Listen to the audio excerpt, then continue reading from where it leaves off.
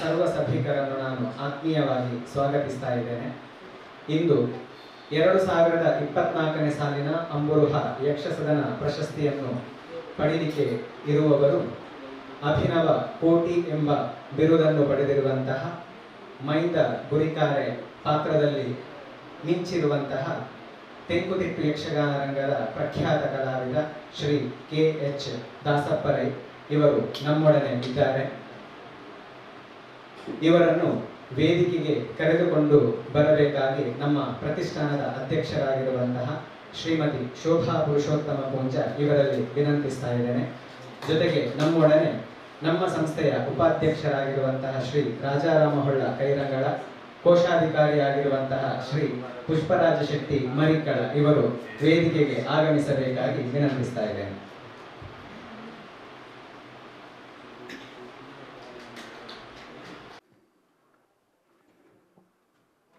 ಇಂದು ಅಭಿನವ ವಾಲ್ಮೀಕಿ, ಯಕ್ಷಗಾನ ಸವ್ಯಸಾಚಿ, ಬುಟ್ಟಿಕೆರೆ ಪುರುಷೋತ್ತಮ ಪೂಂಜರ ಜನ್ಮದಿನ.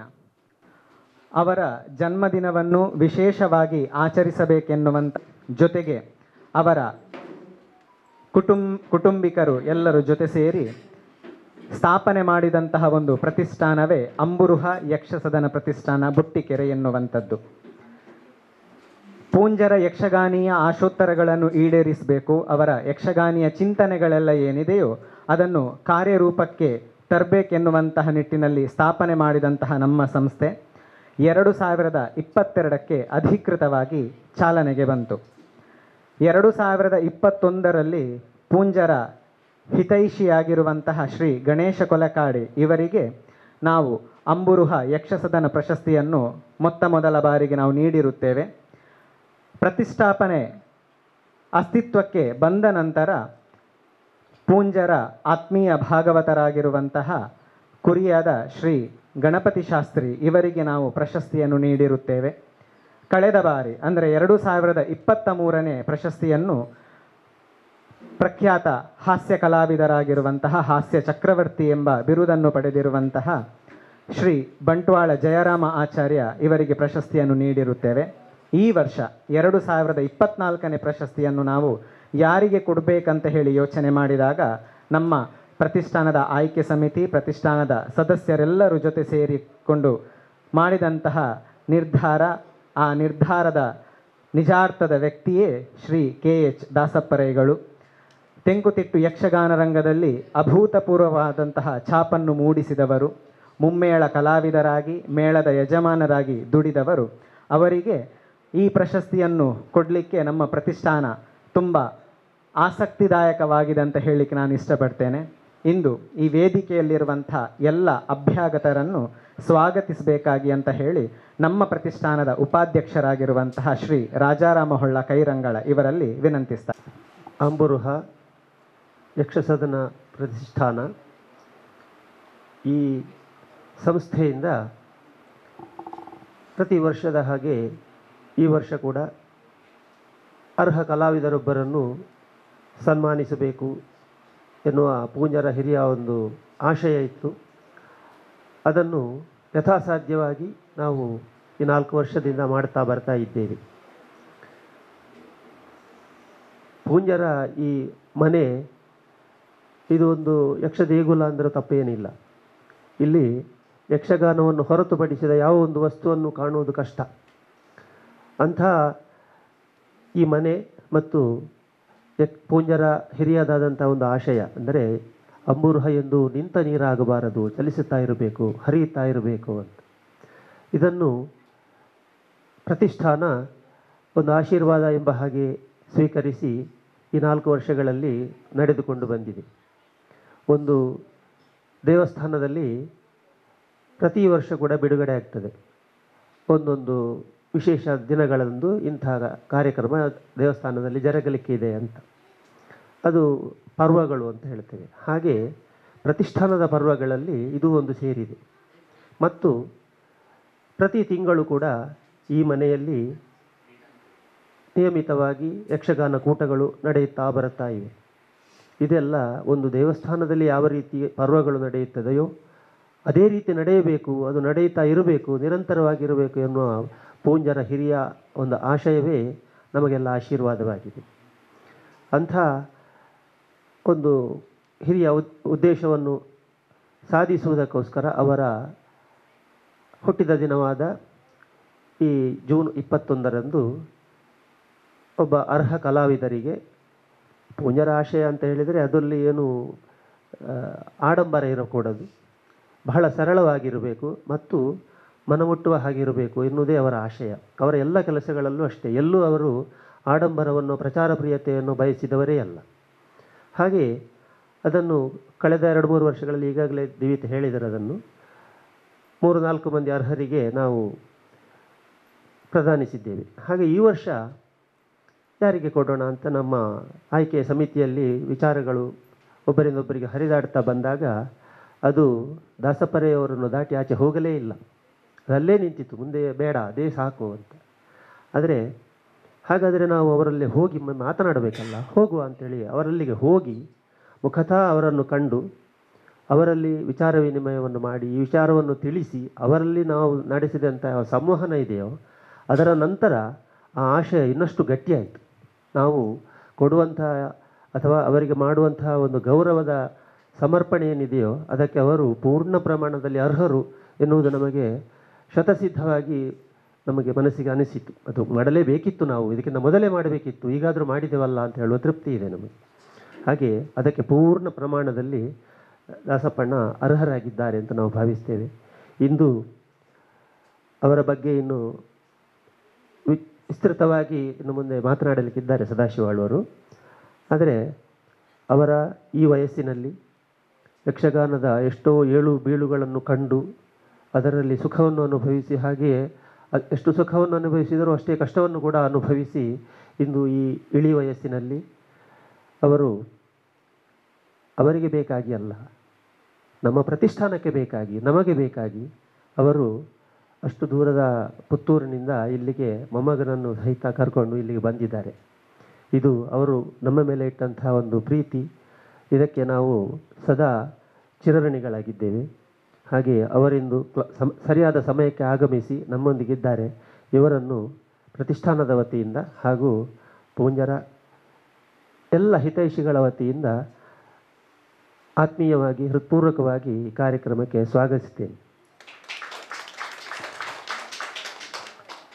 ಹಾಗೆ ನಮ್ಮ ಈ ಪ್ರತಿಷ್ಠಾನದ ಅಧ್ಯಕ್ಷರಾಗಿರುವಂಥ ಶ್ರೀಮತಿ ಶೋಭಾ ಪೂಂಜ, ಇವರು ಈ ಪ್ರತಿಷ್ಠಾನದ ಅಧ್ಯಕ್ಷರಾಗಿದ್ದುಕೊಂಡು ಎಲ್ಲೂ ಕೂಡ ತನ್ನನ್ನು ತಾನು ತೋರಿಸಿಕೊಳ್ಳದೆ, ತಾನು ಎಲ್ಲದಕ್ಕೂ ಇದ್ದೇನೆ, ಆದರೆ ಯಾವುದಕ್ಕೂ ಇಲ್ಲ ಅಂತ ಹೇಳುವಂಥ ಒಂದು ನಿರ್ಮೋಹ ಭಾವದಿಂದ ಎಲ್ಲದಕ್ಕೂ ನಮಗೆ ಒಂದು ತಾಯಿಯ ಹಾಗೆ ಈ ಮನೆಯಲ್ಲಿ ಆಶ್ರಯವನ್ನು ಮತ್ತು ಎಲ್ಲ ಕಾರ್ಯಕ್ರಮಗಳ ಹಿಂದೆ ಒಂದು ಪ್ರೇರಕ ಶಕ್ತಿಯಾಗಿ ನಮ್ಮೊಂದಿಗೆ ಸದಾ ಕೆಲಸ ಮಾಡ್ತಾ ಇದ್ದಾರೆ, ದುಡಿಯುತ್ತಾ ಇದ್ದಾರೆ, ಅದಕ್ಕಾಗಿ ತುಂಬ ಶ್ರಮಿಸ್ತಾ ಇದ್ದಾರೆ. ಅವರು ಕೂಡ ಇಂದು ನಮ್ಮೊಂದಿಗಿದ್ದಾರೆ ಅವರನ್ನು ಸ್ವಾಗತಿಸುವುದಲ್ಲ.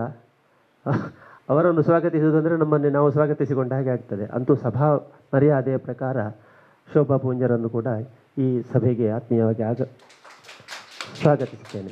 ಹಾಗೆಯೇ ನಮ್ಮೊಂದಿಗೆ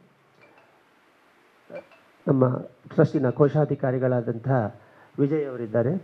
ಇವರಿಗೂ ಕೂಡ ಪ್ರತಿಷ್ಠಾನದ ವತಿಯಿಂದ ಹಾಗೂ ನಮ್ಮ ನಿಮ್ಮೆಲ್ಲರ ವತಿಯಿಂದ ಸ್ವಾಗತ. ಮತ್ತು ಇಲ್ಲಿ ಇಂದು ಪ್ರತಿಷ್ಠಾನದ ಮೇಲೆ ಒಂದು ಅಭಿಮಾನವಿಟ್ಟು ಹಾಗೂ ಪೂಂಜರ ಮೇಲಿನ ಒಂದು ಗೌರವದಿಂದ ಮತ್ತು ದಾಸಪರೆಯವರ ಮೇಲೆ ಇರುವಂತಹ ಪ್ರೀತಿಯಿಂದ ಇಲ್ಲಿ ಆಗಮಿಸಿದಂಥ ಎಲ್ಲ ಬಂಧುಗಳು, ಸ್ನೇಹಿತರು, ಇವರೆಲ್ಲರನ್ನು ಕೂಡ ಒಂದೇ ಮಾತಿನಲ್ಲಿ ಸ್ವಾಗತಿಸುತ್ತಾ ಇನ್ನು ನೆರೆದ ಅಭ್ಯಾಗತರನ್ನು ಆತ್ಮೀಯವಾಗಿ ಸ್ವಾಗತಿಸಿದಂತಹ ನಮ್ಮ ಪ್ರತಿಷ್ಠಾನದ ಉಪಾಧ್ಯಕ್ಷರಾಗಿರುವ ಶ್ರೀ ರಾಜಾರಾಮ ಹೊಳ್ಳ ಕೈರಂಗಳ ಇವರಿಗೂ ನಾನು ಆತ್ಮೀಯವಾದ ಸ್ವಾಗತವನ್ನು ಬಯಸ್ತೇನೆ.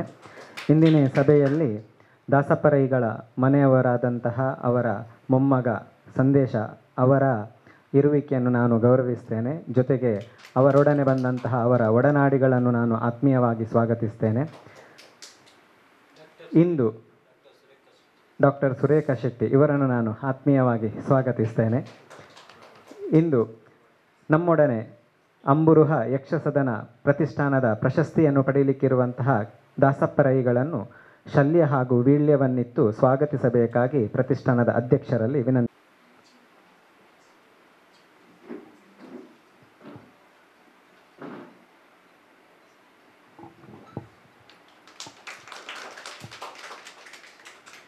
ದಾಸಪರೈಗಳಿಗೆ ಆತ್ಮ.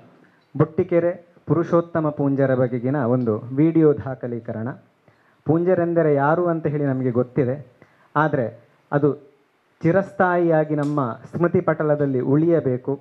ಆ ವಿಚಾರಗಳೆಲ್ಲ ಕಾಲದಿಂದ ಕಾಲಕ್ಕೆ ಮರು ನಮಗೆ ನೆನಪಾಗ್ತಾ ಇರಬೇಕು. ನಮ್ಮ ಉದ್ದೇಶಗಳೆಲ್ಲ ಏನಿವೆಯೋ ಅದು ಹಚ್ಚ ಹಸಿರಾಗಿ ಸದಾ ಉಳಿಯಬೇಕೆನ್ನುವಂತಹ ನಿಟ್ಟಿನಲ್ಲಿ ನಾವೀಗ ಬೊಟ್ಟಿಗೆರೆ ಪುರುಷೋತ್ತಮ ಪೂಂಜರ ಬಗೆಗಿನ ಒಂದು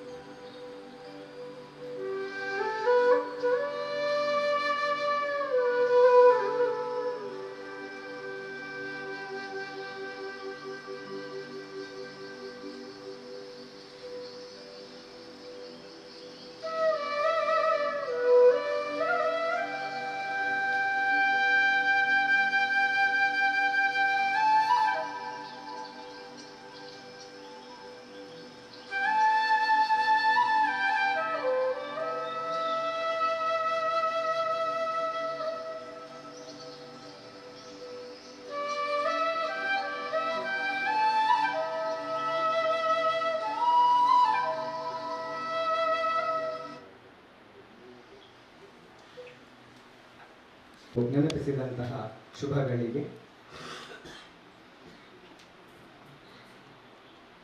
ಅವರು ಹಾಕಿದಂತಹ ದಾರಿ ಅದು ನಮಗೆ ಹೆದ್ದಾರಿ.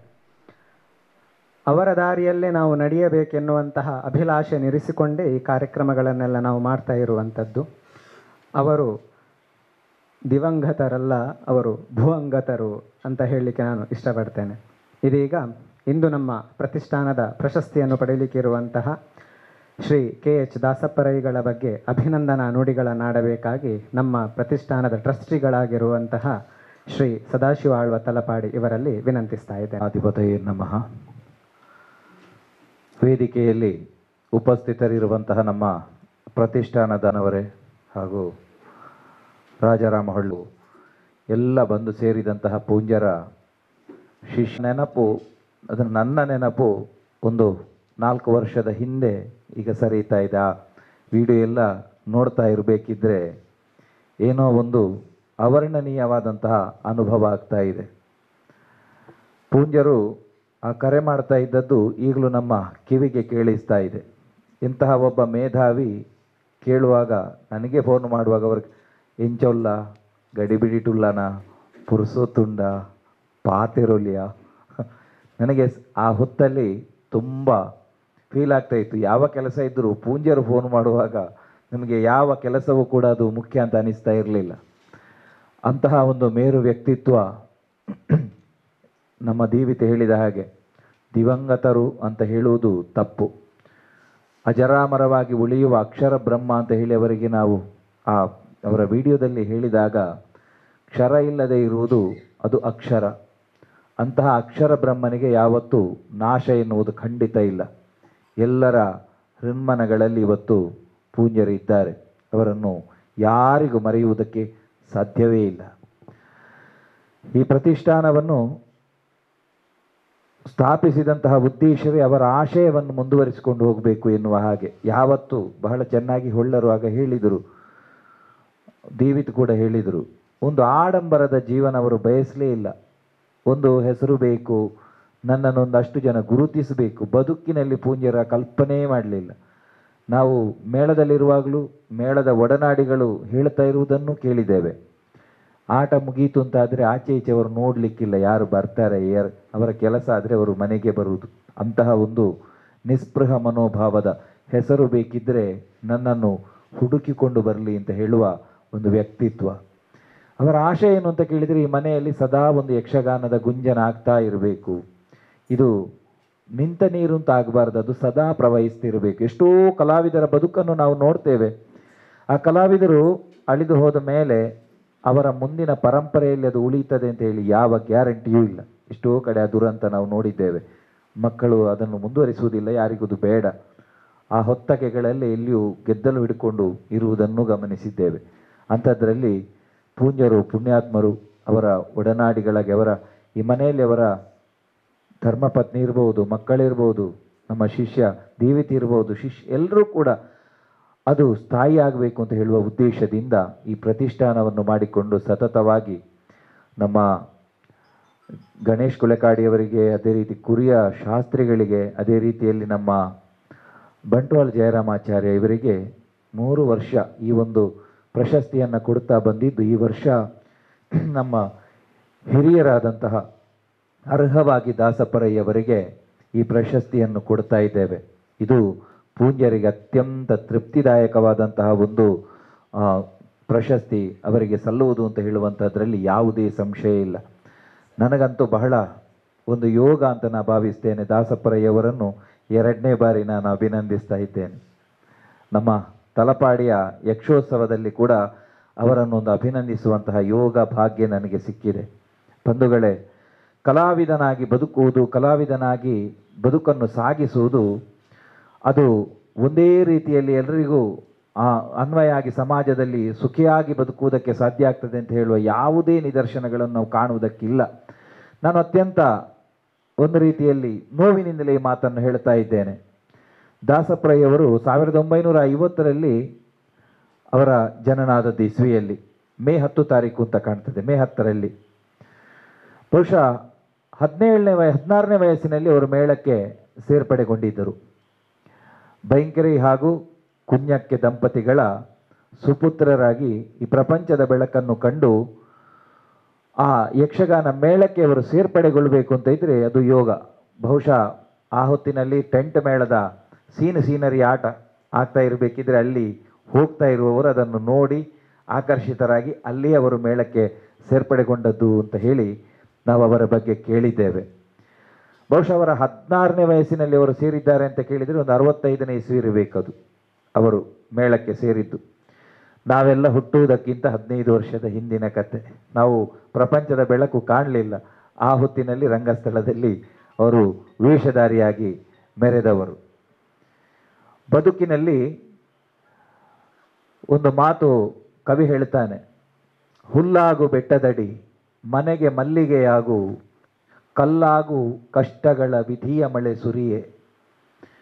ಬೆಲ್ಲ ಸಕ್ಕರೆಯಾಗು ದೀನ ದಿರ್, ದುರ್ಬಲರಿಂಗೆ ಎಳ್ಳರೊಳಗೊಂದಾಗು ಅಂತ ಎಲ್ಲರಿಗೂ ಈ ಬದುಕಿನ ಸೂತ್ರ ಅನ್ವಯಿಸ್ತದೆ. ಆದರೆ ಮೇಳದ ಜೀವನವನ್ನು ಅನುಭವಿಸಿ, ಬದುಕಿನಲ್ಲಿ ಕಲಾವಿದನಾಗಿ ಆ ಬದುಕನ್ನು ಸಾಗಿಸ್ತಾ ಸಾಗಿಸ್ತಾ ದಾಸಪ್ಪರೈಗಳ ಬದುಕೇನು ಅಂತ ಕೇಳಿದರೆ ಎಲ್ಲವೂ ಆಗಿದ್ದಾರೆ. ಆದರೆ ಕಲ್ಲಾಗು ಕಷ್ಟಗಳ ವಿಧಿಯ ಮಳೆ ಸುರಿಯೇ, ಈ ಮಾತು ಅವರಿಗೆ ಅಕ್ಷರಶಃ ಅನ್ವಯಿಸ್ತದೆ. ಯಾಕಂದರೆ ಬದುಕಿನಲ್ಲಿ ಅಷ್ಟು ನೋವನ್ನು ಉಂಡಿದ್ದಾರೆ. ಬದುಕಿನಲ್ಲಿ ಅಷ್ಟು ಕಷ್ಟಗಳನ್ನು ಸಹಿಸಿಕೊಂಡು ಬಂದಿದ್ದಾರೆ. ಮೇಳದ ಬದುಕಿನಲ್ಲಿ ಕರ್ನಾಟಕ ಮೇಳ, ಉಚ್ಛ್ರಾಯ ಸ್ಥಿತಿಯಲ್ಲಿರುವಂತಹ ಹೊತ್ತಿನಲ್ಲಿ ಹಲವಾರು ಪಾತ್ರಗಳನ್ನು ಮಾಡಿದವರು. ಪೌರಾಣಿಕ ಪಾತ್ರ ಅಂತ ಅವರ ಬಗ್ಗೆ ನೋಡಿದಾಗ ರಾವಣ ಇರಬಹುದು, ಕಂಸ ಇರಬಹುದು, ಕೌರವ ಇರಬಹುದು, ಇಂತಹ ಪಾತ್ರಗಳನ್ನು ಮೆರೆಸಿದ್ದಾರೆ. ತುಳು ಪ್ರಸಂಗಗಳ ಬಗ್ಗೆ ನಾವು ನೋಡಿದರೆ ಅಭಿನವ ಕೋಟಿ ಅಂತ ಹೇಳುವಂತಹ ಖ್ಯಾತಿಯನ್ನು ಪಡೆದಿದ್ದಾರೆ. ತುಳು ಪ್ರಸಂಗಗಳಲ್ಲಿ ಒಂದೊಂದು ಪ್ರಸಂಗದಲ್ಲಿ ಒಂದೊಂದು ರೀತಿಯ ಪಾತ್ರಗಳಿಗೆ ಜೀವ ಕೊಟ್ಟಿದ್ದಾರೆ. ತುಂಬ ಪಾತ್ರಗಳಿದ್ದಾವೆ. ನಾವು ಅದನ್ನು ನೋಡಿದ್ದೇವೆ. ಅದರಲ್ಲಿ ಅವರಿಗೆ ಬಹಳ ಪ್ರಸಿದ್ಧಿ ಅಂತ ಕೇಳಿದರೆ ಕೋಟಿಯ ಪಾತ್ರ. ವೈಯಕ್ತಿಕವಾಗಿ ಅವರ ಜೊತೆಯಲ್ಲಿ ವೇಷ ಮಾಡಿದಂತಹ ಪುಣ್ಯವು ನನಗೆ ಸಿಕ್ಕಿದೆ. ದಾಸಪ್ರಯವರಿಗೆ ನೆನಪಿದೆಯೋ ಇಲ್ಲವೋ ಗೊತ್ತಿಲ್ಲ. ಸರಪಾಡಿ ಮೇಳದಲ್ಲಿ ಒಂದು ಅತಿಥಿ ಕಲಾವಿದನಾಗಿ ನಾನು ಕೂಡ ಒಂದು ಬಾರಿ ಹೋಗಿದ್ದೆ. ಆಗ ಎಂತಹ ಒಂದು ಪ್ರೀತಿ ಅಂತ ಕೇಳಿದರೆ, ಅದು ಈಗಲೂ ನನಗೆ ರೋಮಾಂಚನ ಆಗ್ತದೆ ಎಲ್ಲ ಚೌಕಿಯಲ್ಲಿ ಕೂತಿರುವಾಗ ಎಲ್ಲರೂ ಒಟ್ಟಿಗೆ ಕೂತಿರುವಾಗ ಅವರು ಒಂದು ಆತ್ಮೀಯವಾಗಿ ಆ ಮಾತನಾಡುವಂತಹ ಶೈಲಿ. ಇವತ್ತು ಕೂಡ ಅವರು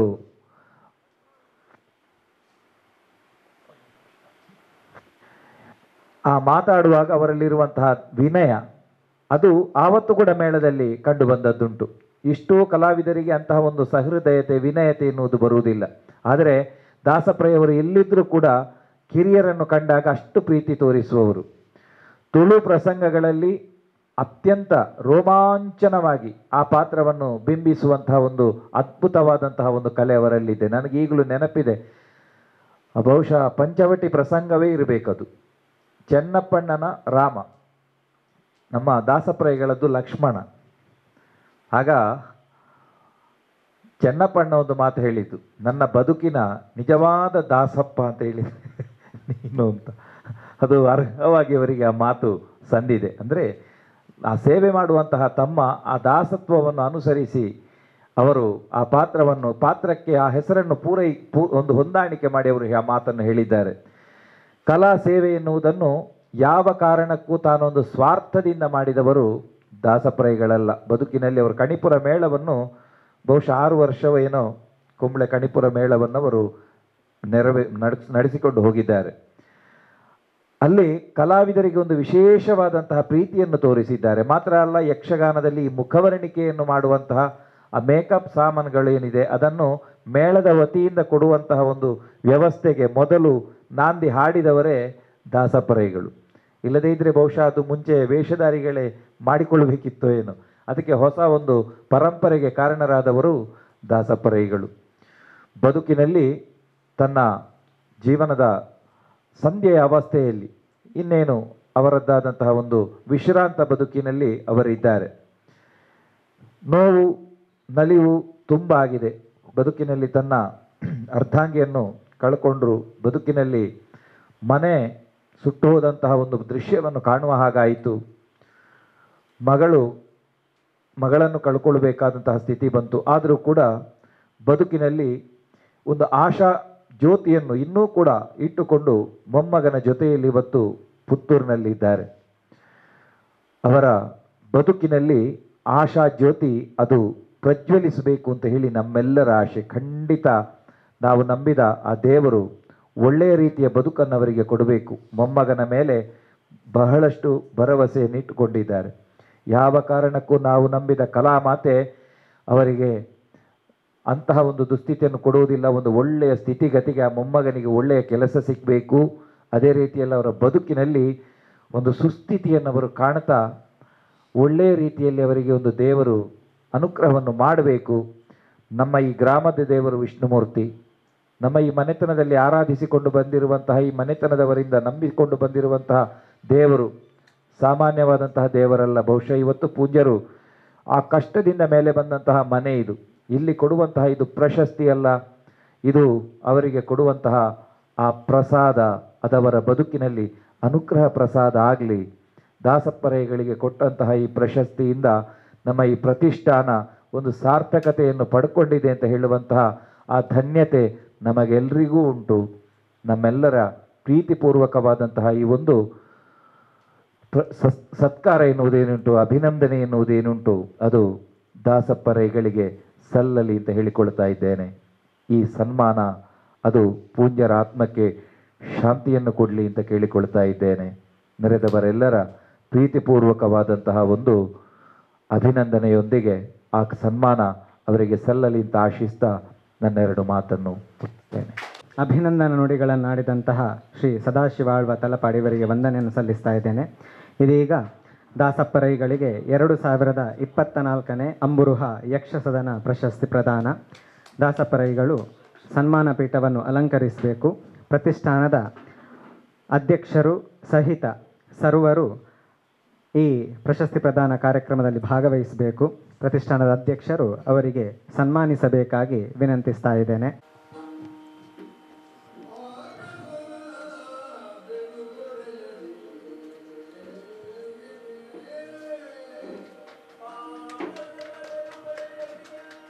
ಹಾರವನ್ನಿತ್ತು ಗೌರವಿಸಬೇಕಾಗಿ ವಿನಂತಿ.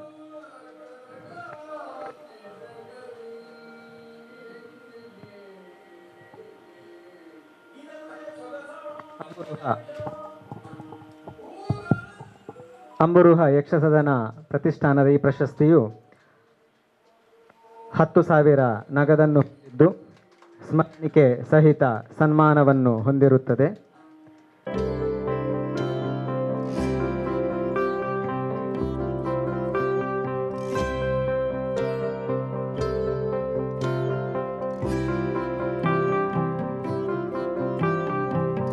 ಇನ್ನಷ್ಟು ದಾಸಪರೈಗಳು ಅವರ ಜೀವನ ಈ ಕಿರುವನ್ನು ಅವರು ಆತ್ಮೀಯವಾಗಿ ಸ್ವೀಕರಿಸಬೇಕಾಗಿ ವಿನಂತಿಸ್ತಾರೆ ಪ್ರತಿಷ್ಠಾನದ ಸರ್ವ ಸದಸ್ಯರು ಒಂದು ಛಾಯಾಚಿತ್ರಕ್ಕೆ ಅನುವು ಮಾಡಿಕೊಡಬೇಕಾಗಿ ವಿನಂತಿಸ್ತಾ ಇದೆ.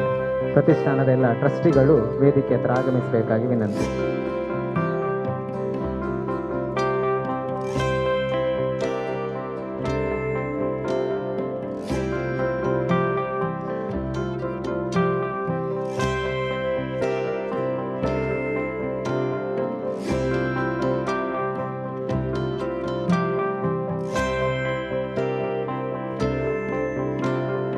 ಪ್ರಶಸ್ತಿಯು ಕೆ ಎಚ್ ದಾಸಪ್ಪರೈಗಳ ಜೀವ, ಜೀವನವನ್ನು ಸದಾ ಬೆಳಗ್ಲಿ ಎಂಬ ಸದಾಶಯವನ್ನು ವ್ಯಕ್ತಪಡಿಸುತ್ತಾ, ಪ್ರಶಸ್ತಿಯನ್ನು ಪಡೆದಂತಹ ದಾಸಪ್ಪರೈಗಳು ಒಂದೆರಡು ಮಾತುಗಳನ್ನಾಡಬೇಕಾಗಿ ವಿನಂತಿಸ್ತಾ ಇದ್ದೇನೆ. ಹೃದಯ ತುಂಬಿ ಬಂದಾಗ ಮಾತು ಮೂಕವಾಗ್ತದೆ ಎಂಬ ಒಂದು ಮಾತಿದೆ. ಅದು ಸತ್ಯ ಅಂತ ಈಗ ನನಗೆ ಮನವರಿಕೆ ಆಯಿತು. ನಾನು ನಿತ್ಯವೂ ನಂಬಿಕೊಂಡು ಬರುವಂತಹ ಪುತ್ತೂರು ಮಹಾಲಿಂಗೇಶ್ವರ ದೇವರಿಗೆ ತಲೆಬಾಗಿ ಕಟೀಲು ದುರ್ಗಾಪರಮೇಶ್ವರಿಯನ್ನು ನೆನೆದು ಈ ಸ್ಥಳದಲ್ಲಿರುವಂತಹ ಸ್ಥಳ ಸಾನ್ನಿಧ್ಯಗಳಿಗೆ ತಲೆಬಾಗಿ ಒಂದೆರಡು ಮಾತುಗಳನ್ನು ಮಾತ್ರ ಹೇಳ್ತೇನೆ ಯಾಕಂದರೆ ಒಂದು ಕಡೆಯಿಂದ ಸ್ವಾಗತಿಸುವಾಗ ಅವರು ಮಾ ಎಲ್ಲ ಮಾತನ್ನು ಹೇಳಿದರು. ಪೂಂಜರ ಬಗ್ಗೆ ಹೇಳುವುದ್ರೆ ಅವರ ಕಥನಗಳನ್ನೆಲ್ಲ ನಾವು ಛಾಯಾಚಿತ್ರದ ಮೂಲಕ ನೋಡಿದ್ದೇವೆ, ಕೇಳಿದ್ದೇವೆ. ಮತ್ತು ಸದಾಶಿವಾಳವರು ನನ್ನ ಬಗ್ಗೆ ಹೇಳುವಾಗ ನನ್ನ ಬಗ್ಗೆ ನಾನು ಏನೇನು, ಏನು ಏನು ಏನು ಎಂಬುದನ್ನೆಲ್ಲ ತಿಳಿಸಿದ್ದಾರೆ. ಆದ್ದರಿಂದ ಯಾವ ವಿಚಾರದ ಬಗ್ಗೆಯೂ ನಾನು ಮಾತಾಡುವುದಕ್ಕೆ ಮುಂದೆ ಹೋಗುವುದಿಲ್ಲ. ಒಂದು ಎರಡು ಮಾತು ಮಾತ್ರ ಕೃತಜ್ಞತೆಯನ್ನು ಸಲ್ಲಿಸ್ತೇನೆ. ನಿಜವಾಗಿ ನನಗೆ ಇಂದು ಕೊಟ್ಟಂತಹ ಸನ್ಮಾನ, ಪುಂಜರ ಸನ್, ಹೆಸರಿನ ಸನ್ಮಾನ ಇದೆಯಲ್ಲ ಇದು ಮಹಾಪ್ರಸಾದ ಇರುವ ಹಾಗೆ ಅಂಬುರು ಯಕ್ಷಸದನ ಪ್ರತಿಷ್ಠಾನ ಇವರು ಕೊಟ್ಟಂತಹ ಈ ಸನ್ಮಾನವನ್ನು ಸಂತೋಷದಿಂದ, ವಿನಯದಿಂದ ತಲೆಬಾಗಿ ಸ್ವೀಕರಿಸ್ತಾ ಇದ್ದೇನೆ. ಇದು ಯಕ್ಷಕಲಾ ಮಾತಿಗೆ ಸಂದಂತಹ ಗೌರವ. ಬಹುಶಃ ಸದಾಶಿವ ಅವರು ಹೇಳಿದ ಹಾಗೆ ನನ್ನ ಹದಿನಾರನೇ ವಯಸ್ಸಿಂದ ಹತ್ತು ಐವತ್ತೈದು ವರ್ಷಗಳ ಕಲಾ ಸೇವೆಯನ್ನು ಮಾಡಿದ್ದೇನೆ ನಾನು. ಆದರೆ ಯಕ್ಷಗಾನ ಕ್ಷೇತ್ರಕ್ಕೆ ನಾನು ಏನು ಕೊಟ್ಟಿದ್ದೇನೆ ಎನ್ನುವುದಕ್ಕಿಂತ ಯಕ್ಷಗಾನ ಕ್ಷೇತ್ರದಿಂದ ನಾನು ಬೇಕಾದಷ್ಟನ್ನು ಪಡೆದಿದ್ದೇನೆ ಎಂದು ಹೇಳುವುದಕ್ಕೆ ಸಂತೋಷ ಪಡ್ತೇನೆ ಯಾಕಂದರೆ ಎಲ್ಲ ಮಂದಿಯು ನನ್ನ ಕಷ್ಟದ ಬಗ್ಗೆ, ನನ್ನ ಛಲದ ಬಗ್ಗೆ ಗೌರವವನ್ನು ಕೊಟ್ಟಿದ್ದಾರೆ. ಅವನ್ನು ಪ್ರೀತಿಸುವುದಕ್ಕೆ ತಯಾರಾಗ್ತಾರೆ. ಆದರೆ ನನ್ನ ಜೀವನದಲ್ಲಿ ನಾನು ಹೆಚ್ಚು ಕಷ್ಟವನ್ನು ಅನುಭವಿಸ್ತೇನೆ. ಆದರೂ ಯಕ್ಷಗಾನ ಕ್ಷೇತ್ರವನ್ನು ಪ್ರೀತಿಸ್ತಾ ಬಂದಿದ್ದೇನೆ. ಆ ಪ್ರೀತಿಯೇ ಈ ಕೊಡುಗೆಗೆ ಕಾರಣ ಎಂಬುದನ್ನು ನಾನು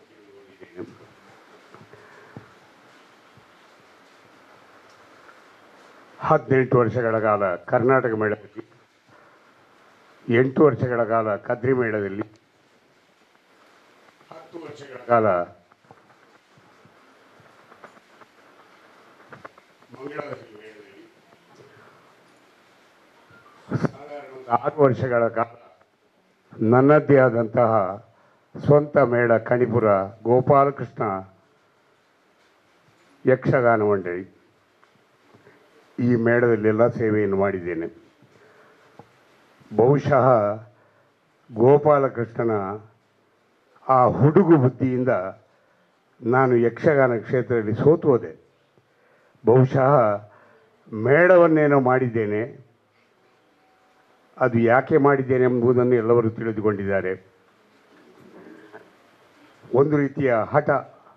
ಆ ಹಠವೇ ನನ್ನ ಸೋಲಿಗೆ ಒಂದು ರೀತಿ ಕಾರಣ ಆದರೂ ಗೋಪಾಲಕೃಷ್ಣ ಅಂದು ಹುಡುಗಾಟಿಕೆಯನ್ನು ಮಾಡಿದರೂ ಕೂಡ ಇಂದು ನನ್ನ ಕೈ ಬಿಡಲಿಲ್ಲ.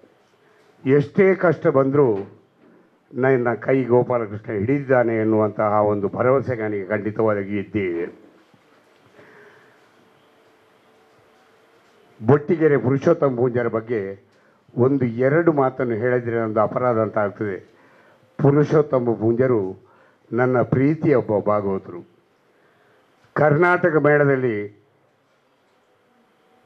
ಅವರಿರುವಂತಹ ಸಂದರ್ಭ, ಅವರ ಒಡನಾಗಿಡಿಯಾಗಿ ಬಾಳುವಂತಹ ಯೋಗ ಭಾಗ್ಯ ನನ್ನ ಬಾಳಿಗೆ ಬಂದದ್ದು ಕಡಿಮೆ. ಅವರು ಬರೆದಂತಹ ಮಹಾಕವಿ ಮಾನಿಷಾದ. ಬಹುಶಃ ಕೆಲವು ನೆನಪುಗಳಿಗೆ ನನ್ನ ಪ್ರಾಯವು ಕಾರಣವಾಗಿದೆ ತಪ್ಪಿಗೆ ಕ್ಷಮಿಸಿ. ಅಂತಹ ಮಾನುಷ್ಯದಲ್ಲಿ ನನಗೆ ಪಾತ್ರ ಮಾಡುವಂತಹ ಯೋಗ ಭಾಗ್ಯ ಬರಲಿಲ್ಲ. ಯಾಕಂದರೆ ನಾನು ಕರ್ನಾಟಕ ಮೇಳದಲ್ಲಿ ಇರಲಿಲ್ಲ ಅದು. ಆ ಪ್ರಸಂಗ ಮೆರೆದಿದೆ. ಬಹುಶಃ ಪುರುಷೋತ್ತಮ ಪೂಂಜರಿಗೆ ಹೆಸರು ತಂದುಕೊಟ್ಟಂತಹ ಒಂದು ಪ್ರಸಂಗ ಮಾನಿಷಾದ ನಾನು ದಾಮೋದರ ಮಂಡಚರ ಗರಡಿಯಲ್ಲಿ ಪಳಗಿದ್ರು. ಬೊಟ್ಟಿಗೆರೆ ಪುರುಷೋತ್ತಮ ಪೂಂಜರ ಒಡನಾಡಿಯಾಗಿ ಅವರ ಜೊತೆಯಲ್ಲಿ ವೇಷ ಮಾಡುವಂತಹ ಭಾಗ್ಯ ನನಗೆ ಬರಲಿಲ್ಲ. ಆದರೆ ಅವರ ಅಭಿಮಾನಿ ನಾನು. ಇರಲಿ, ನನ್ನ ಮೊಮ್ಮಗ ಹೆಚ್ಚು ಮಾತಾಡಿದರೆ ನೀವು ತುಂಬ ಮಾತಾಡ್ತೀರಿ ಅಂತ ಹೇಳ್ತಾರೆ ಮನೆಯಲ್ಲಿ ಹೋಗಿ. ಹಾಗಾಗಿ ನಾನು ಹೆಚ್ಚು ಮಾತಾಡೋದಕ್ಕೆ ಹೋಗುವುದಿಲ್ಲ. ನಿಜವಾಗಿಯೂ ಇಂದು ದೊರೆತಂತಹ ಸನ್ಮಾನ ನನಗೆ ಇಷ್ಟರವರೆಗೆ ಎಷ್ಟು ಸನ್ಮಾನ ದೊರಕಿದೆಯೋ ಅದಕ್ಕಿಂತಲೂ ಇಮ್ಮಡಿಯಾಗಿದೆ ಎಂದು ಸಂತೋಷ ಪಡ್ತಾ ಇದ್ದೇನೆ. ಯಾಕೆಂದರೆ ಸನ್ಮಾನ ಪಡೆಯುವಂತಹ ಸಂತೋ ಸಂದರ್ಭದಲ್ಲಿ ಸಂತೋಷ ಪಡಬೇಕು. ಆದರೆ ನಾನು ಸಂತೋಷ ಪಟ್ಟದ್ದಲ್ಲ ನನಗೆ ಕಣ್ಣೀರು ಒಂದು ಹೋಯಿತು. ಬಹುಶಃ ಬೊಟ್ಟಿಗೆರೆ ಪುರುಷೋತ್ತಮ ಪೂಂಜರು ಈಗ ಬೇಕಿತ್ತು ಈಗ ಬೇಕಿತ್ತು. ದಿನಂಪ್ರತಿ ಅವರ ಒಡನಾಡಿಯಾದಂತಹ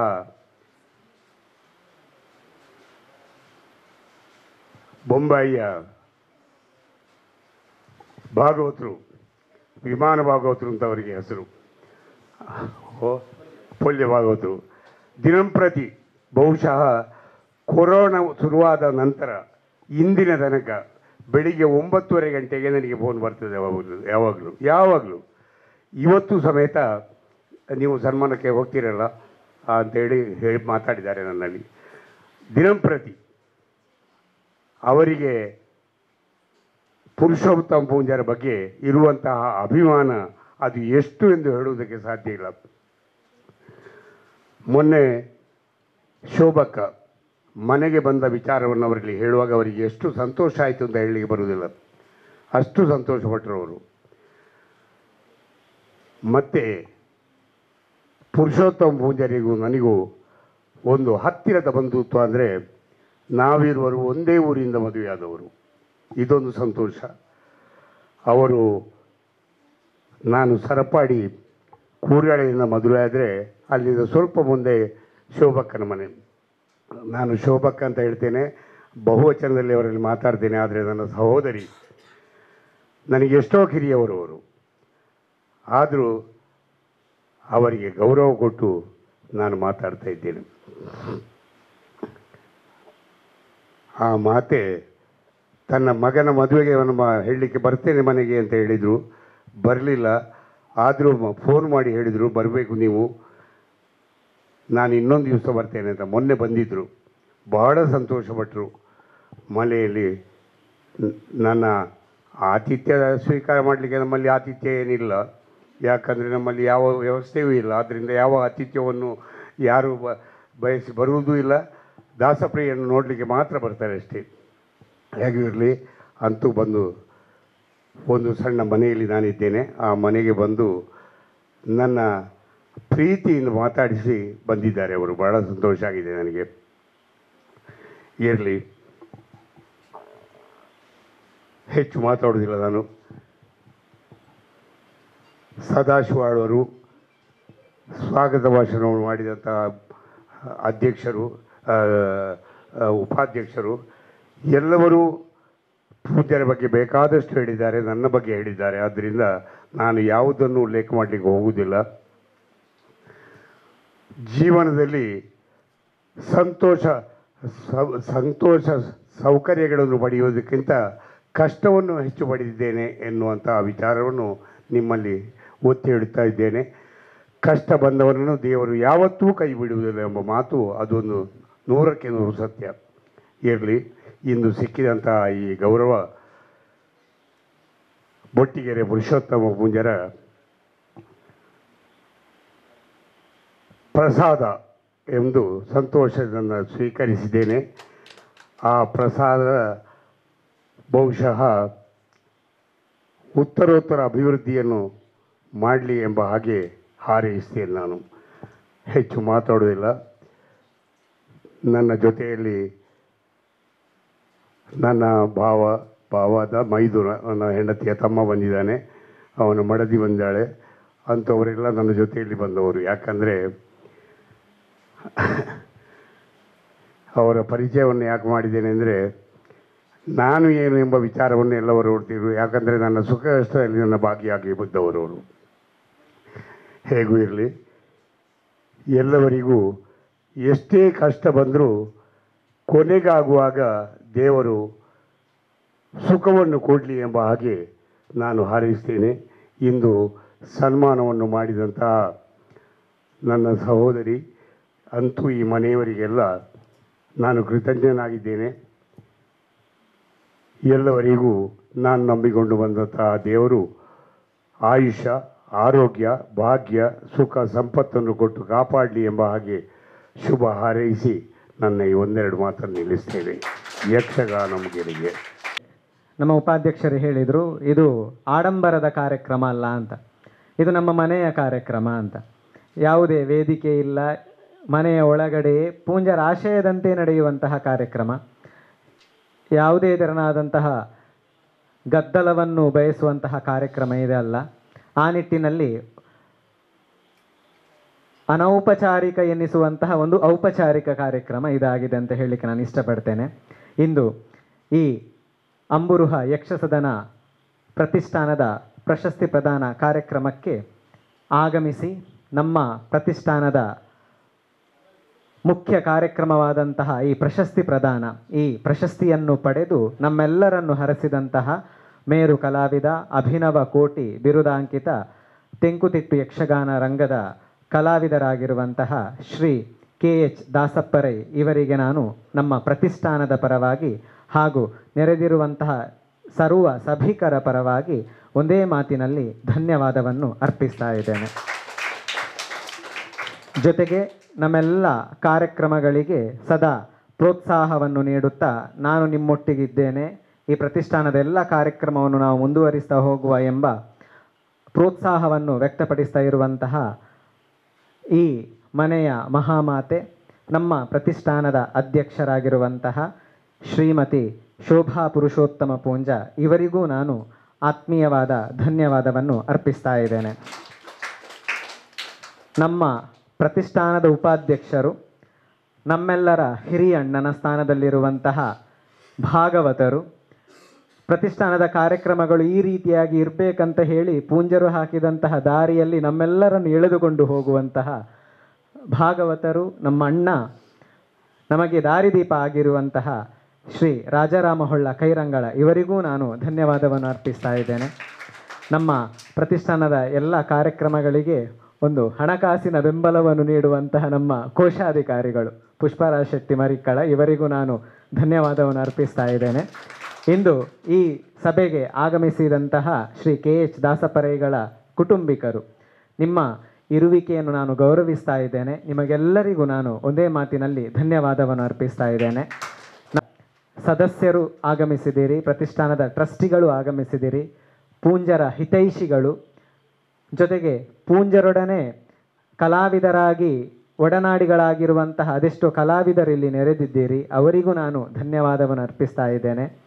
ಜೊತೆಗೆ ಪೂಂಜರ ಒಂದು ಖಾಸಗಿ ವಿಚಾರವಾಗಿ ಹೇಳುವುದಾದರೆ, ಪೂಂಜರ ಹಿರಿಮಗನ ಶ್ರೀಮತಿಯ ಮನೆಯವರು ಇಲ್ಲಿಗೆ ಆಗಮಿಸಿದಿರಿ ಅವರಿಗೂ ನಾನು ಆತ್ಮೀಯವಾದ ಧನ್ಯವಾದವನ್ನು ಅರ್ಪಿಸ್ತಾ ಇದ್ದೇನೆ. ಈ ಪ್ರಶಸ್ತಿ ಪ್ರದಾನ ಕಾರ್ಯಕ್ರಮ ಇಲ್ಲಿಗೆ ಮುಕ್ತಾಯ ಆಗ್ತದೆ. ಈ ಕಾರ್ಯಕ್ರಮಕ್ಕೆ ಆಗಮಿಸಿದಂತಹ ಸರ್ವರಿಗೂ ಪರೋಕ್ಷವಾಗಿ, ಪ್ರತ್ಯಕ್ಷವಾಗಿ ಸಹಕರಿಸಿದಂತಹ ಎಲ್ಲರಿಗೂ ಒಂದೇ ಮಾತಿನಲ್ಲಿ ಧನ್ಯವಾದವನ್ನು ಅರ್ಪಿಸುತ್ತಾ ಈ ಪ್ರಶಸ್ತಿ ಪ್ರದಾನ ಕಾರ್ಯಕ್ರಮದ ಬಳಿಕ ಇಲ್ಲಿ ಪಾರ್ಥಿಸುಬ್ಬ ವಿರಚಿತ ಸೀತಾಪಹರ ಪ್ರಸಂಗದ ಯಕ್ಷಗಾನ ತಾಳಮದ್ದಲೆ ನಡೀಲಿಕ್ಕಿದೆ.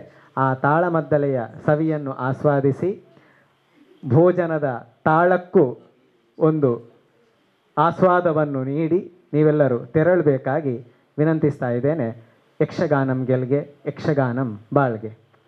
ದೂರದ ಪುತ್ತೂರಿಗೆ ತೆರಳಲಿಕ್ಕೆ ಇರುವುದರಿಂದಾಗಿ ಅವರು ತೆರಳ್ತೇನಂತ ಹೆಂಗಳ ಕೂಟದ ನಿಮಿತ್ತ ಇಂದು ಪಾರ್ಥಿಸುಬ್ಬ ವಿರಚಿತ ಸೀತಾಪಹಾರ ಪ್ರಸಂಗದ ಯಕ್ಷಗಾನ ತಾಳಮದ್ದಲೆ ಇದೀಗ ನಿಮ್ಮ ಮುಂದೆ ನಡೀಲಿಕ್ಕಿದೆ.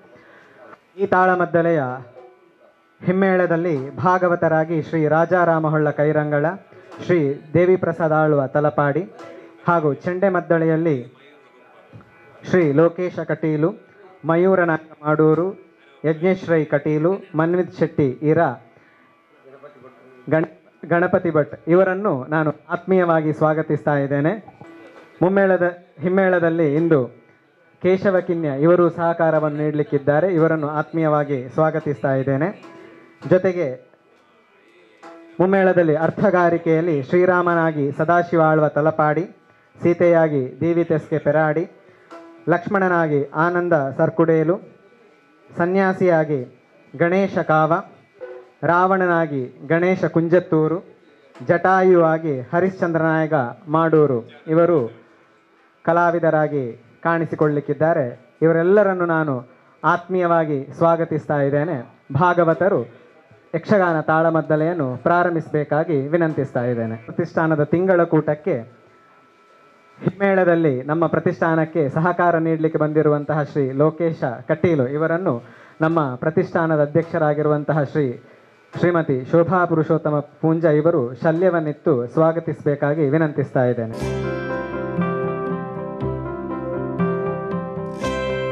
ಇನ್ನೋರ್ವ ಹಿಮ್ಮೇಳ ಕಲಾವಿದರಾಗಿರುವಂತಹ ಈಶ್ವರ ಕಿನ್ಯ ಇವರ ಕೇಶ್ ಕೇಶವ ಕಿನ್ಯ. ಇವತ್ತು ನಾನು ಆಹ್ವಾನಿಸ್ತಾ ಇದ್ದೇನೆ. ಪ್ರತಿಷ್ಠಾನದ ಅಧ್ಯಕ್ಷರು ಶಲ್ ಗೌರವಿಸಬೇಕಾಗಿ ವಿನಂತಿಸ್ತಾ ಇದ್ದೇನೆ. ಪ್ರತಿಷ್ಠಾನದ ಒಂದು ಗೌರವಾರ್ಪಣೆ ನಮ್ಮ ಪ್ರತಿಷ್ಠಾನದ ಟ್ರಸ್ಟಿಗಳಾಗಿರುವಂತಹ ಶ್ರೀ ಜೀವಿತೇಶ ಪೂಂಜ ಇವರ ಧರ್ಮಪತ್ನಿ ಸುರಕ್ಷಾ ಭಂಡಾರಿ ಇವರ ತಂದೆಯಾಗಿರುವಂತಹ ಶ್ರೀ ರವಿ ಭಂಡಾರಿ ಇವರು ಕೂಡ ಆಗಮಿಸಿದ್ದಾರೆ. ಇವರು ನಮ್ಮ ಪ್ರತಿಷ್ಠಾನದ ಗೌರವವನ್ನು ಸ್ವೀಕರಿಸಬೇಕು. ಪ್ರತಿಷ್ಠಾನದ ಅಧ್ಯಕ್ಷರು ಶಲ್ಯವನ್ನಿಟ್ಟು ಗೌರವಿಸಬೇಕಾಗಿ ವಿನಂತಿಸ್ತಾ ಇದ್ದೇನೆ.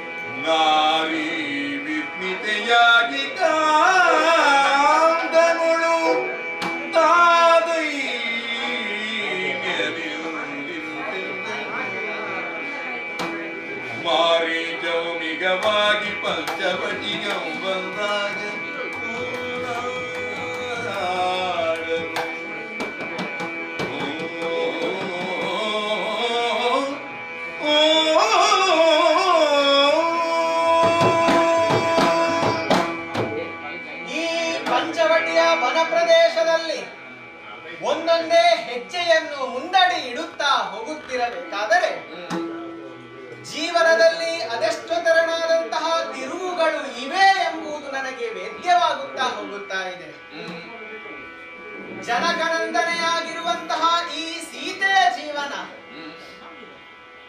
ಈ ರೀತಿಯಾಗಿ ಹರಿಯುತ್ತಾ ಇದೆ ಎಂಬುದರ ಬಗ್ಗೆ ಅವಲೋಕನ, ಅವಲೋಕನವನ್ನು ಮಾಡುತ್ತಾ ಇರಬೇಕಾದರೆ ಸುಖವು ದುಃಖವು ಇಮ್ಮಡಿಯಾಗುವಂತಹ ಬಗೆ ನನ್ನ ಜೀವನದಲ್ಲಿ ಪುಟಿದೇಳುತ್ತಾ ಇದೆ. ರಘುನಂದನಾಗಿರುವಂತಹ ರಾಘವನ ಕರಬಿಡಿದಂತಹ ಈ ಜಾನಕಿ ಪಂಚವಟಿಯ ಕಡೆಗೆ ಮುಖ ಮಾಡಿ ಹೋಗುತ್ತಿರಬೇಕಾದರೆ ಆ ಪಂಚವಟಿಯ ಸೊಬಗು ಆಕೆಯ ಮನದ ಅಂತ ಆಂತರ್ಯದಲ್ಲಿ ಹುದುಗಿರುವಂತಹ ದುಗುಡಗಳನ್ನೆಲ್ಲ ಕಳೆದು ಸಾಗಿಸುತ್ತಾ ಇದೆ ಎಂಬುದು ನನಗೂ ಅರ್ಥವಾಗುತ್ತಾ ಇದೆ. ಹೌದು. ಜಾನಕಿಯ ಜೀವನ.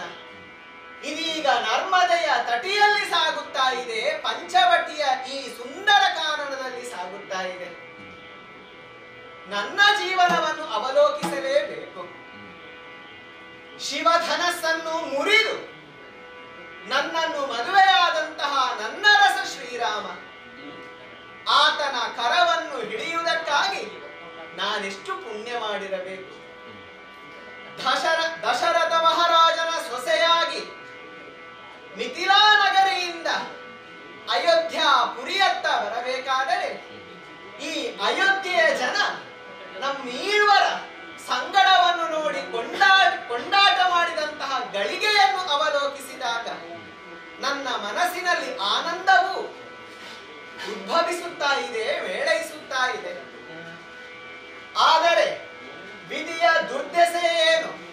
ಕಾಲದ ಕಡಿವಾಣವೋ ಏನು ಎಂಬಂತೆ ಪಿತೃವಾಕ್ಯ ಪರಿಪಾಲನೆಗಾಗಿ ನನ್ನವರಾಗಿರುವಂತಹ ಶ್ರೀರಾಮ, ನನ್ನ ವೈದ್ಯನಾಗಿರುವಂತಹ ಲಕ್ಷ್ಮಣನ ಸಹಿತ ನಾನು ಕಾನನವಾಸಿಯಾಗುವಂತಹ ಪ್ರಮೇಯ ಎದುರಾದಂತಹ ವೇಳೆ ನನ್ನ ಇಚ್ಛೆಗೆ ಒಪ್ಪಿದಂತಹ ನನ್ನವರಾದಂತಹ ಶ್ರೀರಾಮ ಪ್ರಭುಗಳು ನನ್ನ ಮನಸ್ಸಿನ ಇಂಗಿತವನ್ನು ಪೂರೈಸಿದವರಿದ್ದಾರೆ. ಯಾವುದೇ ಕಷ್ಟ ಕಾಲವಿರಲಿ ಯಾವುದೇ ಇಷ್ಟದ ಕಾಲವಿರಲಿ, ಎರಡನ್ನು ಸರಿಸಮವಾಗಿ ಸ್ವೀಕರಿಸಿ ನಿನ್ನ ಕರವನ್ನು ಹಿಡಿದು ನಾನು ಮುಂದೆ ಸಾಗುತ್ತೇನೆ ಎಂಬುದಾಗಿ ನನಗೆ ಭಾಷೆಯನ್ನಿತ್ತವರು ನನ್ನ ಶ್ರೀರಾಮ. ಆ ಭಾಷೆಯ ಉತ್ಕಟ ಇಚ್ಛೆಯನ್ನು ಮುಂದಿರಿಸಿಕೊಂಡು ಅದೆಷ್ಟು ಕಾಲ ಕ್ರಮೇಣಗಳನ್ನು ಸಾಗುತ್ತಾ ಸಾಗುತ್ತಾ ಈ ಪಂಚವಟಿಯ ಕಾರಣ ಪ್ರದೇಶಕ್ಕೆ ಬಂದು ತಲುಪಿದ್ದೇವೆ. ನನ್ನವರಾಗಿರುವಂತಹ ರಘುನಂದನನ ಅನುಜನ ಇಚ್ಛೆಯ ಪ್ರಕಾರ ಪಂಚವಟಿ ವನ ಪ್ರದೇಶದಲ್ಲಿ ಪರ್ಣಕುಟೀರವೊಂದನ್ನು ನಿರ್ಮಿಸಿಕೊಂಡಿದ್ದೇನೆ ಅನ್ನ ಆಹಾರಾದಿಗಳ ಬಗ್ಗೆ ಯಾವುದೇ ವಿಚಾರವನ್ನು ತಯಾರಿಸಬೇಕಾಗಿಲ್ಲ.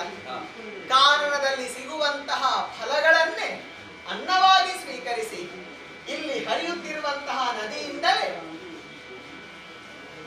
ವಾರಿಯನ್ನು ಸ್ವೀಕರಿಸುವುದರ ಜೊತೆಗೆ ಪಂಚವಟಿಯ ಕಾನನ ಪ್ರದೇಶದಲ್ಲಿ ಸುಳಿದಾಡುವಂತಹ ಆ ವಾಯುವನ್ನೇ ಆಘ್ರಾಣಿಸುತ್ತಾ ಕಾಲವನ್ನು ಕಳೆ- ಕಳೆಯುತ್ತಾ ಇದ್ದೇವೆ. ಆದರೆ ಕಾಲವನ್ನು ಕಳೆಯುವಂತಹ ಆ ಹಿಂದಿನ ವೇಳೆಯಲ್ಲಿ ಪರ್ಣ ಕುಟೀರವನ್ನು ನಿರ್ಮಿಸುವಂತಹ ಕಾಲದಲ್ಲಿ ಒಂದು ಸೋಜಿಗವನ್ನು ಘಟಿಸಿ ಹೋಯಿತಲ್ಲ ಆಕಾಶದ ಕಡೆಗೆ ನಾನು ನೋಟವನ್ನು ಗಮನಿಸುತ್ತಾ ಇದ್ದಂತೆ ವೃದ್ಧರಾಜರಾಗಿರುವ ವೃದ್ಧರಾಜರಾಗಿರುವಂತಹ ಒಂದು ಹಕ್ಕಿಯೊಂದನ್ನು ಗಮನಿಸಿದೆ.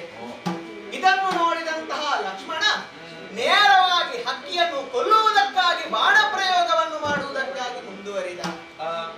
ಆ ಸ್ಥಿತಿಯನ್ನು ಗಮನಿಸಿದಂತಹ ನನ್ನವರಾಗಿರುವಂತಹ ಶ್ರೀರಾಮ ಪ್ರಭುಗಳು ನೇರವಾಗಿ ತಡೆದು ನಿಲ್ಲಿಸಿದರು. ಸಂಪಾತಿಯ ಅನುಜರಾಗಿರುವಂತಹ ಈತ ಮಾತನಾಡುವವನಿದ್ದಾನೆ.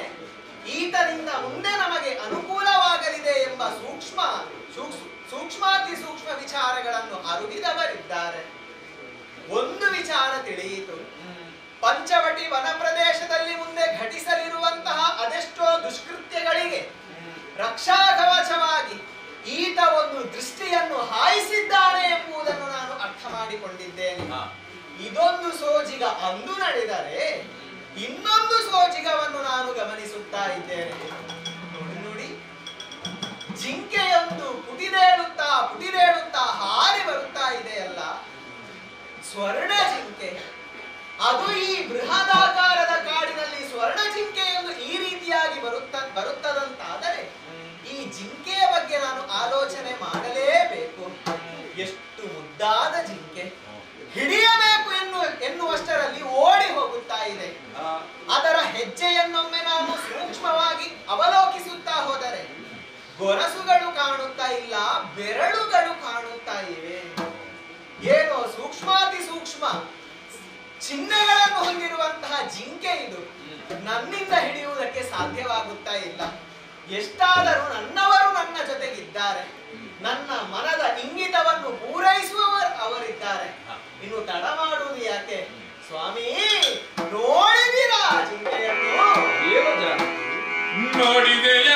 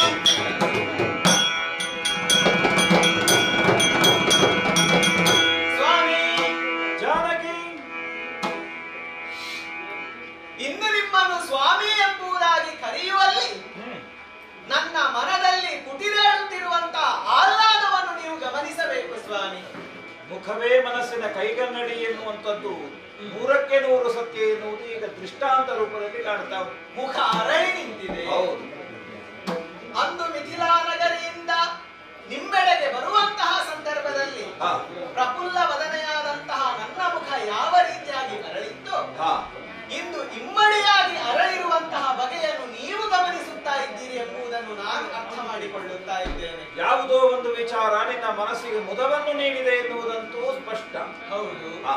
ಪಂಚವಟಿಯ ಈ ಕಾನನ ಪ್ರದೇಶದಲ್ಲಿ ದಟ್ಟ ಕಾನನವನ್ನು ಒಮ್ಮೆಲೆ ದಿಟ್ಟಿಸಿ ನೋಡಿದಂತಹ ವೇಳೆ ಭಯಭೀತಳಾದಂತಹ ನನ್ನನ್ನು ನನ್ನ ಕರವನ್ನು ಹಿಡಿದು ಜಾನಕಿ. ಹೆದರಲಿರು ನಾನು ನಿನ್ನ ಜೊತೆಗೆ ಇದ್ದೇನೆ ಎಂಬುದಾಗಿ ಭರವಸೆಯನ್ನು ಇತ್ತವರು ನೀವು. ಹೌದು. ಆ ಭರವಸೆಯಲ್ಲೇ ಕಾಲವನ್ನು ಕಳೆಯುತ್ತಿರುವಂತಹ ವೇಳೆಯಲ್ಲಿ ಹಾ ಇಂದು ಒಂದು ಸೋಜಿಗವನ್ನು ಗಮನಿಸುತ್ತಾ ಇದ್ದೇನೆ ಸ್ವಾಮಿ.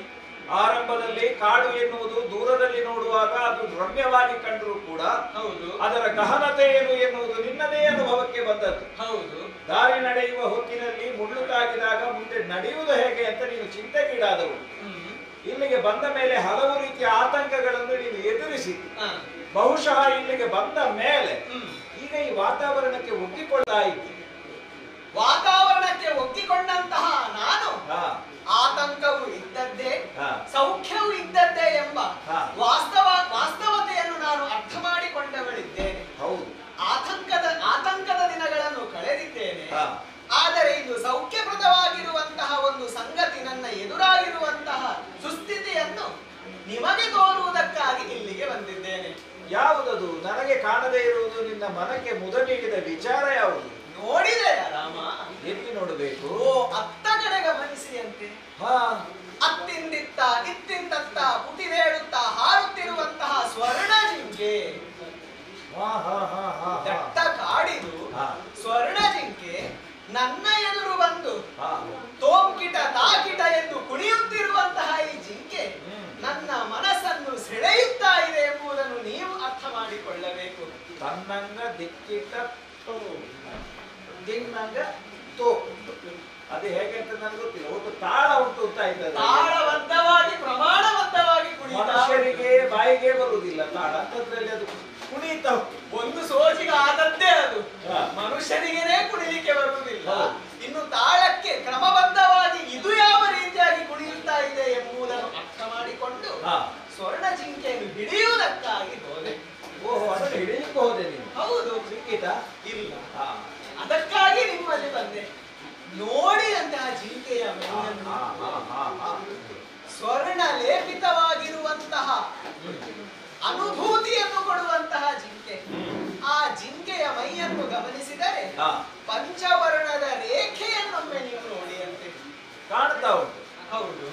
ಸಾಮಾನ್ಯವಾಗಿ ಕಾಣುವಂತಹ ಜಿಂಕೆ ಹಾಗಲ್ಲ. ಒಂದು ಪ್ರತ್ಯೇಕವಾದಂತಹ ಒಂದು ಜಿಂಕೆ ಹಾಗೆ ಕಾಣ್ತಾ ಉಂಟು. ಪ್ರತ್ಯೇಕವಾದಂತಹ ಜಿಂಕೆ. ಹೌದು. ಆದರೆ ಈ ಜಿಂಕೆ ನನ್ನ ಗಮನ ಸೆಳೆದಿರುವಂತದ್ದು ಇಲ್ಲ. ನನಗೆ ಆ ಜಿಂಕೆ ಬೇಕು. ಹಿಡಿಯುವ ಪ್ರಯತ್ನವನ್ನು ಮಾಡ್ತಾ ಇದ್ದೇನೆ. ಸಿಗ್ತಾನೆ ಇಲ್ಲ. ಸ್ವಾಮಿ ಈ ಒಂದು ಇಚ್ಛೆಯನ್ನು ನೀವಾದರೂ ಈಡೇರಿಸಿಕೊಳ್ಳುವಿರಾ? ಜಾನಕಿ ಸ್ವಾಮಿ. ಬದುಕಿನಲ್ಲಿ ಅನುಭವಗಳನ್ನು ತುಂಬಾ ನಾವು ಇವಾಗ ಅನುಭವಿಸಿ ಆಗಿದೆ. ಎಷ್ಟೋ ಬಾರಿ ನಾವು ಭ್ರಮೆಗೆ ಒಳಗಾದದ್ದೂ ಉಂಟು. ನೋಡಿದ್ದೆಲ್ಲ ಸತ್ಯ ಅಲ್ಲ. ಹಾಗಾದರೆ ಕಣ್ಣಾರೆ ಕಂಡರೂ ಕೂಡ ನಾವು ಪರಾಮರಿಸಿ ನೋಡಬೇಕು ಎನ್ನುವ ಹಾಗೆ ತಿಳಿದವರು ಯಾಕೆ ಹೇಳಿದ್ದು ಗೊತ್ತೋ? ಯಾಕೆ? ಕೆಲವೊಮ್ಮೆ ಕೆಲವು ವಿಷಯಗಳು ನಮ್ಮನ್ನು ಭ್ರಮೆಗೆ ಒಳಪಡಿಸ್ತದೆ. ನಮಗೆ ಒಳಪಡಿಸಿ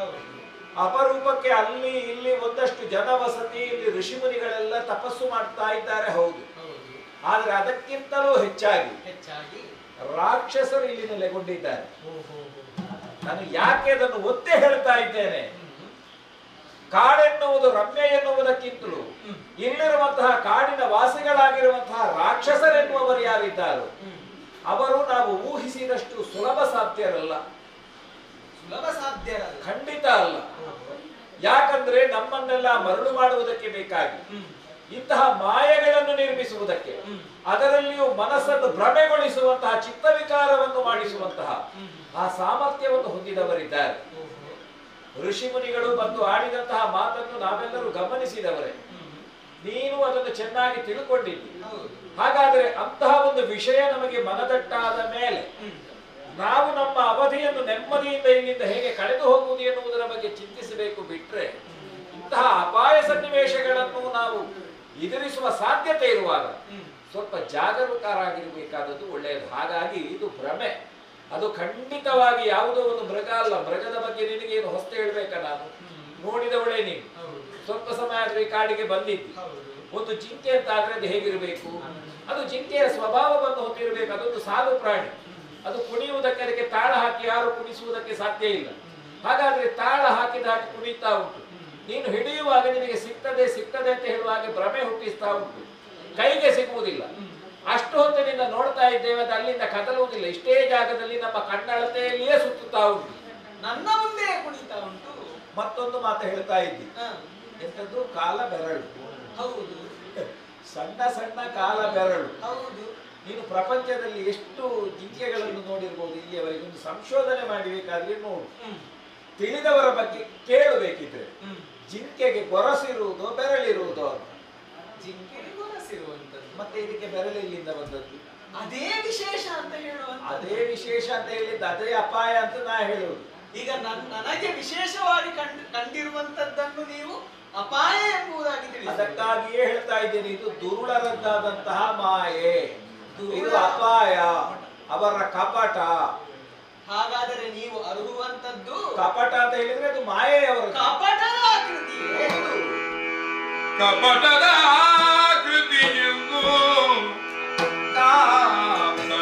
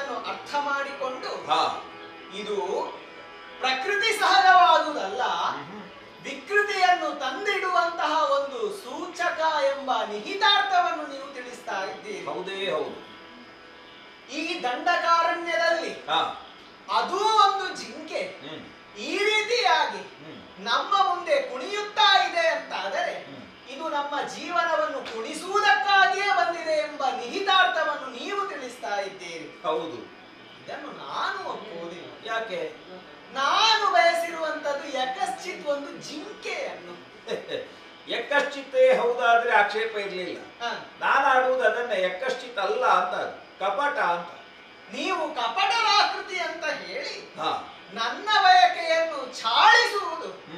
ಆ ಚಾಳಿಸುವುದಕ್ಕಾಗಿ ನೀವು ಹೊತ್ತಿರುವಂತಹ ದಾರಿ ಹಾ. ನೀವು ಬಳಸುವಂತಹ ಮಾರ್ಗ ಎಲ್ಲವೂ ನನಗೆ ವೇದ್ಯವಾಗಿದೆ ಸ್ವಾಮಿ. ಯಾಕೆ? ನೀವು ಹೇಳ್ತಾ ಇರುವಂತದ್ದೇನು? ಈ ಜಿಂಕೆ ಸರಿಯಾದುದಲ್ಲ. ರಾಕ್ಷಸರ ಮಾಯೆ. ಇದು ನಿನ್ನ ಭ್ರಮೆ. ಹಾ. ಇದು ಬೇಡ. ಅಪಾಯ ಇದೆ. ಈ ರೀತಿಯಾಗಿ ಎಲ್ಲ ಹೇಳಿದ್ರೆ. ನಾನು ಕೇಳಬೇಕೆ ಮತ್ತೆ? ಬಯಸಿದ್ದು ಒಂದು ಜಿಂಕೆಯನ್ನು ನನ್ನ ಬಯಕೆಗೆ ಅನುರೂಪವಾಗಿ ನನ್ನ ಬಯಕೆಗೆ ಅನುಗುಣವಾಗಿ. ಸದಾ ನಿನ್ನೊಡನೆ ಇರುತ್ತೇನೆ ಎಂಬುದಾಗಿ ನೀವೇ ಅಂದು ತಿಳಿಸಿದ ತಿಳಿಸಿದವರಲ್ಲವೇ? ಹೌದು. ಯಾಕಂದ್ರೆ ನಿಮ್ಮ ಅಪ್ಪ ಕೊಡುವಾಗ ಮಾತಾಡಿದ್ದಾನೆ ಇಯಂ ಸೀತಾ ಮಮ ಸುತ. ಸಹಧರ್ಮ ಚರೀತವ. ಸದಾ ಒಟ್ಟಿಗೆ ಇರುತ್ತೇನೆ ಎಂಬ ನಿಹಿತ. ಈಗ ಬಯಸಿದ್ದು ಅದನ್ನೇ. ಜಿಂಕೆಯನ್ನು ನಾನು ಪಡೆಯುವುದಕ್ಕಾಗಿ ಮುಂದೆ ಹೋದರೆ ನಿಮ್ಮ ಅನುಪಸ್ಥಿತಿ ಕಂಡೊದಗಿತು. ಒದಗಿತು ಈಗ ಜೊತೆಯಾಗಿ ಜಿಂಕೆಯನ್ನು ಹಿಡಿಯಬೇಕು. ನೀವು ಜಿಂಕೆಯನ್ನು ಹಿಡಿದು ನನಗೆ ತರಬೇಕು. ನನ್ನ ಬಯಕೆಯನ್ನು ಈಡೇರಿಸಬೇಕು. ನಾನು ಇಷ್ಟೂ ಹೊತ್ತು ಆಡಿದಂತಹ ಮಾತು. ಅದೊಂದು ಮೌಲ್ಯಯುತವಾದಂತಹ ಮಾತು. ಹ್ಮ್. ನನಗೆ ಅನ್ನಿಸ್ತದೆ. ನೀನದನ್ನು ತಿಳ್ಕೊಂಡ ರೀತಿ ತಪ್ಪು ಬಯಕೆ ಸ್ವಾಮಿ? ನಾಡ ಮಾತು ಅಂತಲೂ ಭಾವಿಸಿದ್ದು ಇದನ್ನು ನಾಡ ಮಾತಲ್ಲ ರಾಕ್ಷಸರು